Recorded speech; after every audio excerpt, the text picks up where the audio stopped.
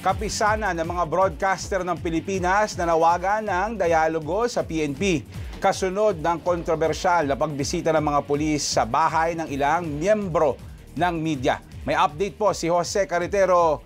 Tito Jokart, magandang morning. Ano yung panawagan? Chef, ang panawagan ngayon ng kapisanan ng mga broadcaster ng Pilipinas sa PNP ay kailangan na magkaroon ng dialogo ang PNP at media kaugnayan sa kontrobersyal na pagbisita ng mga pulis sa ilang kagawad ng media. Ayon kay kapisanan ng mga broadcaster ng Pilipinas, President Herman Basbanyo, dapat idaan na lang sa dialogo ang usapin sa seguridad ng mga taga-media. Aminado si Basbanyo, Tito Jeff, na alanganin ang ginawang pagbisita ng mga pulis sa bahay ng ilang taga-media kaya dapat anya na mapag-usapan ito para makabuo ng mekanismo para sa proteksyon ng media.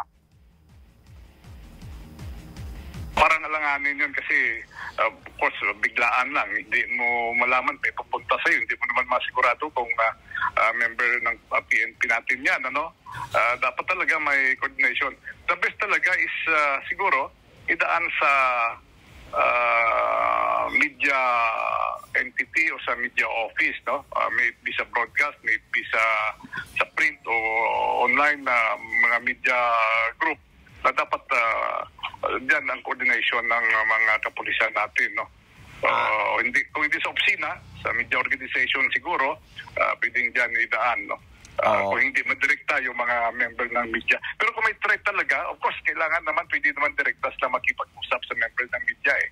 Kung may threat na, kung na-evaluate na, na-assess na na may threat yung concerned media man na yan, siguro pwede naman direktahan, direktahan na mag-usap sila. Then uh, see to it that, uh, you know, mabigyan ng kasigurahan nga safe safe yung uh, kasapi ng media na yan.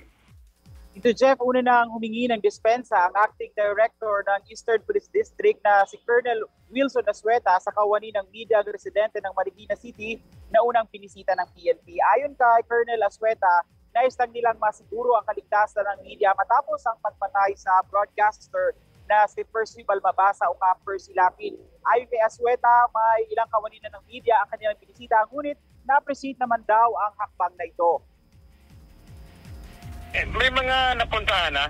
So, mayroong nag-appreciate, meron din na nag-comment. Uh, well, of course, uh, kung na parang kung privacy yung pinag-usapan, nag uh, apology, apology na lang. But uh, it's not our intention to violate uh, their privacy. Ang kailangan namin, maging proactive lang kami sa PNP. Itinigil na muna ng PNP ang pagbisita habang pinag-iisipan pa kung ano ang mas sistematikong pamamaraan para masiguro ang kaligtasan ng mga kawani ng media.